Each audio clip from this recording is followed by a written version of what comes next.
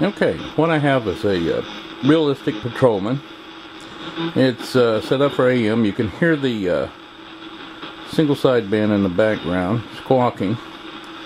Now this radio does have a BFO feature, but it really doesn't work. Uh, so to be able to get uh, the sideband on this, what I have done is preset my signal generator up to the 455 frequency. It's set for band, band B. And band B, right there is a tick for 455 kilohertz.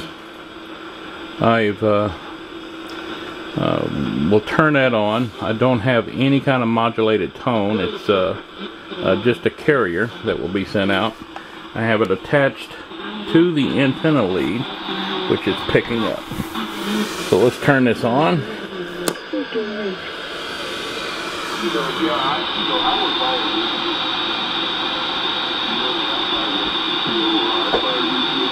So now I could tune up and down the bands with that 455 frequency going into the IFs acting as a, uh, beat frequency oscillator and would be able to uh, tune in single sideband conversations up and down the 80 meter band. Anyway, just a quick demo of how to do a cheap BFO if you've got a signal generator. If you uh, take a look at your radio and you know the IF frequency, uh, the secondary IF, uh, that's probably the best way to go.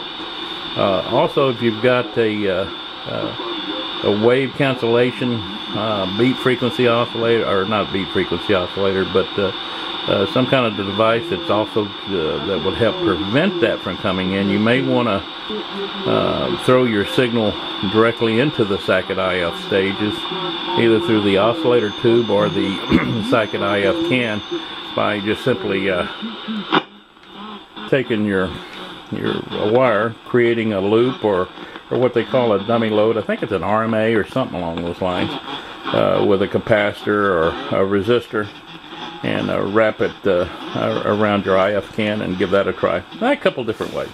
Anyway, thanks for watching.